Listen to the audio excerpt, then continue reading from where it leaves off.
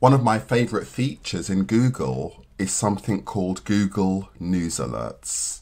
And this is a really clever way to be able to keep on top of anything that interests you, whether it be your organization, your competitors, it could be to do with your boss or rumors about what's happening in your organization.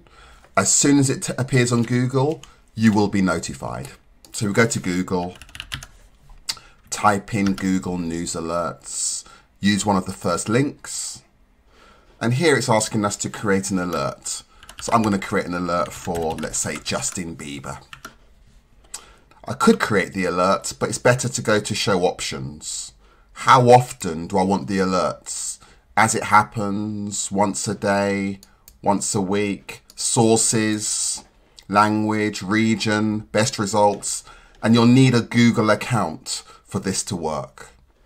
I'm now going to create my news alert and at this moment I'm receiving an email with all of the latest Justin Bieber alerts and I'll now receive them anytime there's any news about Justin Bieber.